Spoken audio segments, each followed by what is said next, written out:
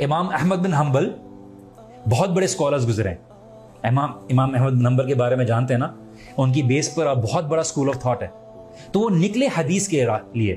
तो चले गए और मस्जिद में रात को सो गए। उस जमाने में फेसबुक तो नहीं था।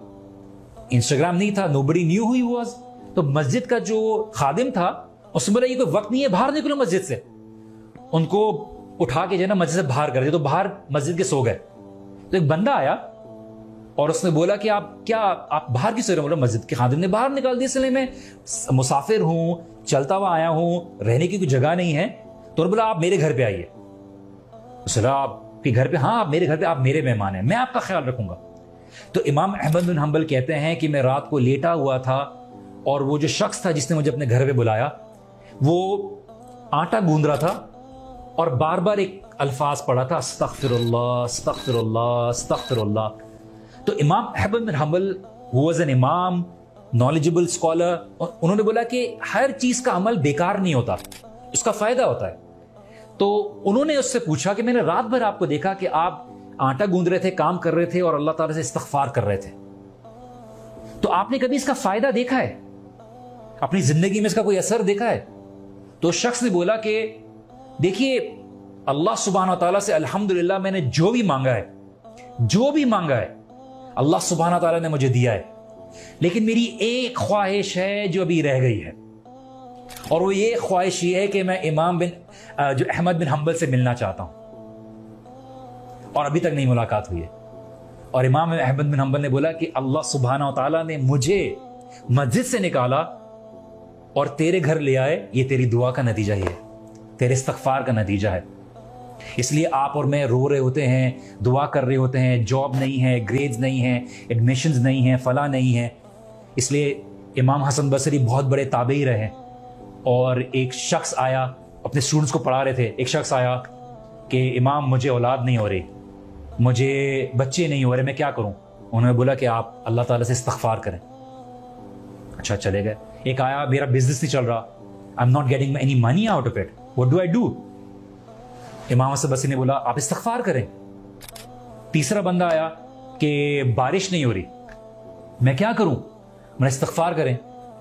तो जब तीन चार लोग आए और उन्होंने इस्तफार करने के लिए बोला, उनको सेम एडवाइस दी तो स्टूडेंट से जाने के बाद बोला कि हमें ये बहुत स्ट्रेंज बात लगी है, अजीब बात लगी है कि तीन लोग मुख्तलिफ़ परेशानियों के साथ आए हैं और आपने तीन चार लोगों को एक ही एडवाइस दी इस्तफार करें।